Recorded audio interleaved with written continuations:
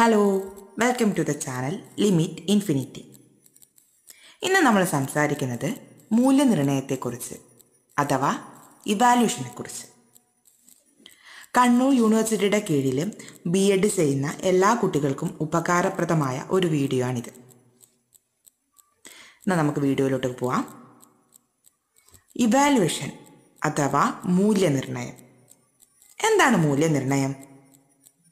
വിദ്യാർത്ഥികൾ എത്രത്തോളം പ്രബോധന ലക്ഷ്യങ്ങൾ കൈവരിക്കുന്നു എന്ന് നിർണയിക്കാൻ വിവരങ്ങൾ ശേഖരിക്കുക വിശകലനം ചെയ്യുക വ്യാഖ്യാനിക്കുക തുടങ്ങിയ വ്യവസ്ഥാപിത പ്രക്രിയയാണ് മൂല്യനിർണയം എന്ന് പറയുന്നത്. എന്താ? വിദ്യാർത്ഥികൾ എത്രത്തോളം തങ്ങളുടെ പഠന ലക്ഷ്യങ്ങൾ കൈവരിക്കുന്നു എന്ന് നിർണയിക്കാൻ വേണ്ടിയിട്ടുള്ള അധ്യാപകർ നടത്തുന്ന ടെസ്റ്റുകൾ പ്രവർത്തനങ്ങൾ തുടങ്ങിയവയൊക്കെയാണ് മൂല്യനിർണയത്തിന്റെ പരിധിയിൽ വരുന്നത്. രണ്ട് തരം മൂല്യനിർണയമാണ് പ്രധാനമായിട്ടും ഉള്ളത് ഒന്ന് ഫോർമേറ്റീവ് ഇവാലുവേഷൻ അഥവാ സംരചനാ മൂല്യനിർണയം. രണ്ടാമത്തേത് സമ്മേറ്റീവ് ഇവാലുവേഷൻ അഥവാ ആത്യന്തിക മൂല്യനിർണയം. ഒന്നാമത്തേത് ഫോർമാറ്റീവ് ഇവാലുവേഷൻ അഥവാ സംരചനാ മൂല്യനിർണയം. അതെന്താണെന്ന് ആദ്യം നോക്കാം. ഒരു പാഠം അല്ലെങ്കിൽ ഒരു യൂണിറ്റ് വിദ്യാർത്ഥികൾക്ക് പറഞ്ഞു കൊടുക്കുന്ന സമയത്ത് തന്നെ അവർ അത് എത്രത്തോളം ഉൾക്കൊണ്ടു അല്ലെങ്കിൽ എത്രത്തോളം അവരത് ഗ്രഹിച്ചു എന്ന് മനസ്സിലാക്കാൻ വേണ്ടി ആ പാഠം എടുത്തുകൊണ്ടിരിക്കുന്ന സമയത്ത് തന്നെ വിദ്യാർത്ഥികൾക്കായി നൽകുന്ന ആക്ടിവിറ്റികൾ ടെസ്റ്റുകൾ പ്രൊജക്റ്റുകൾ അസൈൻമെന്റുകൾ തുടങ്ങിയവയൊക്കെയാണ് ഈ നിരന്തര മൂല്യനിർണയത്തിന്റെ അഥവാ ഫോർമാറ്റീവ് ഇവാലുവേഷന്റെ ഭാഗമായിട്ട് വരുന്നത്. ഇതൊരു തരം നിരന്തര മൂല്യനിർണയമാണ്. വിദ്യാർത്ഥികളുടെ കരിക്കുലം ആക്ടിവിറ്റീസിനെ മാത്രമല്ല കോ കരിക്കുലം ആക്ടിവിറ്റീസിനെയും കൂടി ഫോർമാറ്റീവ് ഇവാലുവേഷൻ പരിഗണിക്കുന്നു. വിദ്യാർത്ഥികൾ തങ്ങളുടെ എക്സാമിന്റെ റിസൾട്ടോ അല്ലെങ്കിൽ എക്സാമിന്റെ മാർക്കോ മാത്രം നോക്കിയല്ല ഒരു വിദ്യാർത്ഥിയുടെ സ്ഥാനം അധ്യാപകൻ നിർണയിക്കുന്നത് മറിച്ച് ആ കുട്ടികളുടെ കുട്ടിയുടെ കോ കരിക്കുലം ആക്ടിവിറ്റീസും കരിക്കുലം ആക്ടിവിറ്റീസും ഒരേപോലെ പ്രാധാന്യം കൊടുത്തുകൊണ്ടുള്ള ഒരു മൂല്യനിർണയ രീതിയാണ് ഫോർമാറ്റീവ് ഇവാലുവേഷൻ എന്നതുകൊണ്ട് ഉദ്ദേശിക്കുന്നത്. ഇങ്ങനെയുള്ള നിരന്തരവും തുടർച്ചയായിട്ടുള്ള മൂല്യനിർണയം നടത്തുമ്പോൾ കുട്ടിക്ക് ഏത് മേഖലയിലാണ് കഴിവ് എന്ന് അധ്യാപകന് എളുപ്പത്തിൽ മനസ്സിലാക്കാൻ സാധിക്കുന്നു. ഒപ്പം ഒരു അധ്യാപകൻ ക്ലാസ് എടുക്കുന്ന സമയത്ത് താൻ പറയുന്ന കാര്യങ്ങൾ ഏത് രീതിയിലാണ് കുട്ടികൾ ഉൾക്കൊള്ളുന്നതെന്നും അത് എത്രത്തോളം അവർക്ക് പ്രാവർത്തികമാക്കാൻ സാധിക്കുന്നുണ്ട് എന്നും അധ്യാപകനും മനസ്സിലാക്കാൻ സാധിക്കുന്നു. ഇത് രണ്ടുമാണ് ഫോർമാറ്റീവ് ഇവാലുവേഷൻ അഥവാ സംരചനാ മൂല്യനിർണയത്തിന്റെ ഏറ്റവും വലിയ സവിശേഷത.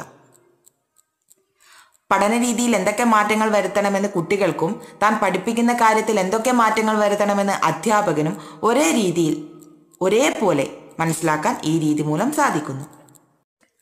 ഫോർമാറ്റീവ് ഇവാലുവേഷൻ മൂന്ന് ഘടകങ്ങളെ അടിസ്ഥാനമാക്കിയാണ് വിലയിരുത്തുന്നത്. ഒന്ന് പഠനത്തോടൊപ്പം പഠന പ്രക്രിയയുടെ വിലയിരുത്തൽ. രണ്ട് പോർട്ട്ഫോളിയോയുടെ വിലയിരുത്തൽ. മൂന്നാമതായിട്ട് യൂണിറ്റ് തല വിലയിരുത്തൽ. ഇങ്ങനെ മൂന്ന് തലത്തിൽ ഇത് വിലയിരുത്തുന്നു. പഠനത്തോടൊപ്പം പഠന പ്രക്രിയയുടെ വിലയിരുത്തൽ എന്നതുകൊണ്ട് ഉദ്ദേശിക്കുന്നത് ഒരു കുട്ടി അധ്യാപകൻ പകർന്നു കൊടുത്ത ആശയം എത്തരത്തിലാണ് പ്രതിഫലിപ്പിച്ചത് അല്ലെങ്കിൽ പ്രകടിപ്പിച്ചത് എന്നതിനെയും പിന്നെ ഗ്രൂപ്പ് ആക്ടിവിറ്റീസ് ഒക്കെ കൊടുക്കുമ്പോൾ കുട്ടി അതിൽ എങ്ങനെയാണ് തന്റെ പങ്കാളിത്തം അറിയിച്ചത് എന്നതിനെയും അടിസ്ഥാനമാക്കിയാണ് ഈ പഠനത്തോടൊപ്പം പഠന പ്രക്രിയയുടെ വിലയിരുത്തൽ എന്നതുകൊണ്ട് ഉദ്ദേശിക്കുന്നത്. പഠനത്തിൽ മാത്രമല്ലാതെ താൻ അത് എത്തരത്തിലാണ് ആ കുട്ടി അത് പ്രകടിപ്പിക്കുന്നത് എന്നുള്ള അധ്യാപകന്റെ നിരീക്ഷണമാണ് ഇതിൽ ഉൾപ്പെടുന്നത്. രണ്ടാമത്തത് പോർട്ട്ഫോളിയോ വിലയിരുത്തൽ. നമ്മൾ പഠിക്കുന്ന സമയത്ത് പലതരത്തിലുള്ള വർക്കുകൾ ചെയ്തിട്ടുണ്ടാവും അല്ലേ? ചെറുപ്പകാലത്തിൽ നാലാം ക്ലാസ്സിലൊക്കെ പഠിക്കുന്ന സമയത്ത് ക്ലോക്ക് ഉണ്ടാക്കുക ചാർട്ട് പേപ്പർ കൊണ്ട് കവർ ഉണ്ടാക്കുക തുടങ്ങി പല പ്രവർത്തനങ്ങൾ നമ്മൾ ചെയ്തിട്ടുണ്ടാവും അല്ലേ? പൂവുണ്ടാക്കുക വേസ്റ്റ് ബാസ്ക്കറ്റ് ഉണ്ടാക്കുക തുടങ്ങി വിദ്യാർത്ഥികൾ ചെയ്യുന്ന വർക്കുകളുടെ കൂട്ടത്തെയാണ് പോർട്ട്ഫോളിയോ എന്നുകൊണ്ട് ഉദ്ദേശിക്കുന്നത്. അങ്ങനെയുള്ള കാര്യങ്ങളെ ഉൾക്കൊണ്ടതാണ് പോർട്ട്ഫോളിയോ. അപ്പോൾ കുട്ടി അക്കാര്യങ്ങളിൽ എങ്ങനെയാണ് ശ്രദ്ധ കേന്ദ്രീകരിക്കുന്നത് എന്നതാണ് പോർട്ട്ഫോളിയോ വില വിലയിരുത്തൽ എന്നതുകൊണ്ട് ഉദ്ദേശിക്കുന്നത്. ആശയവ്യക്തത പൂർണത തനിമ മൗലികത തുടങ്ങിയവയൊക്കെ ഇവിടെ പരിശോധിക്കപ്പെടുന്നു. അടുത്തത് യൂണിറ്റ് തല വിലയിരുത്തൽ. പല യൂണിറ്റുകൾ ചേർന്നതായിരിക്കും അല്ലെ? ഒരു ടെക്സ്റ്റ് എന്ന് പറയുന്ന ഒരു അധ്യാപിക ഒരു വർഷത്തിൽ പല യൂണിറ്റുകളും തരണം ചെയ്തായിരിക്കും ഒരു പാഠപുസ്തകം കംപ്ലീറ്റ് ചെയ്യുന്നത് അല്ലേ?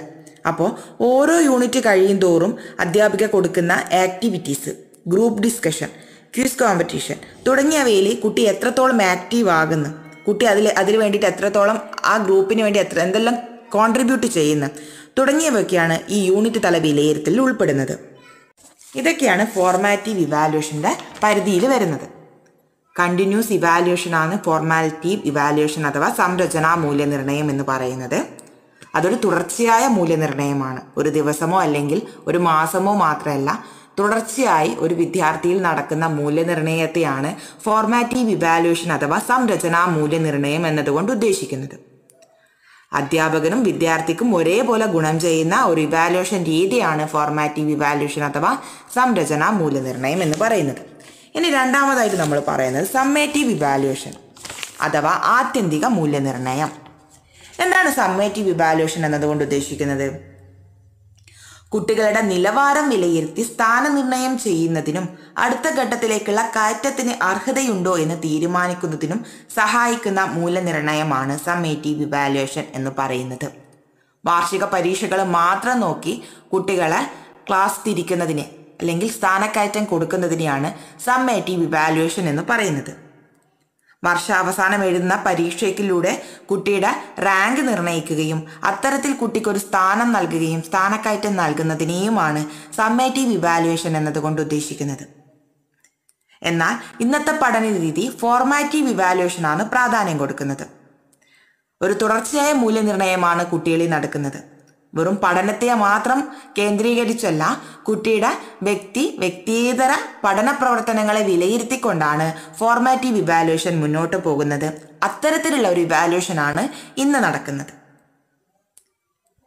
എന്നാൽ സമ്മേറ്റീവ് ഇവാലുവേഷൻ ഇതിൽ നിന്നും വ്യത്യസ്തമാണെന്ന് പറഞ്ഞു. വാർഷിക അവസാനത്തിൽ കുട്ടിയുടെ സ്ഥാനം നിർണയിക്കുകയും കുട്ടിയേക്ക് സ്ഥാനക്കയറ്റം നൽകുന്നതിനെയുമാണ് സമ്മേറ്റീവ് ഇവാലുവേഷൻ അഥവാ ആത്യന്തിക മൂല്യനിർണയം എന്ന് പറയുന്നത്. ഒരു അധ്യാപികയെ സംബന്ധിച്ചിടത്തോളം ഇത് എളുപ്പമാണ്. സമ്മേറ്റീവ് ഇവാലുവേഷൻ നടത്തുന്നതാണ് എളുപ്പം. വർഷാവസാനം ഒരു എക്സാം നടത്തി അതിന്റെ റിസൾട്ട് പബ്ലിഷ് ചെയ്താൽ മതി. പക്ഷേ ഒരു നാളെ ഒരു നല്ല തലമുറയെ വാർത്തെടുക്കാൻ വേണ്ടി വിദ്യാർത്ഥികളുടെ എല്ലാ രീതിയിലുള്ള പ്രവർത്തനങ്ങളെയും പ്രോത്സാഹിപ്പിക്കാൻ വേണ്ടി ഉപകാരപ്രദമാകുന്ന ഒരു ഇവാലുവേഷൻ രീതിയാണ് ഫോർമാറ്റീവ് ഇവാലുവേഷൻ ആ ഒരു ഇവാലുവേഷൻ രീതിയാണ് ഇന്ന് പിന്തുടർന്ന് പോകുന്നത്. ഇത്രയും കാര്യങ്ങളാണ് ഇന്ന് പറയാനുള്ളത്. രണ്ട് തരം മൂല്യനിർണയ രീതികളെക്കുറിച്ച് വിശദമായി പറഞ്ഞു എന്നാണ് വിശ്വാസം. ഉപകാരപ്രദമാകുന്ന മറ്റൊരു വീഡിയോയുമായി വീണ്ടും കാണാം. നന്ദി.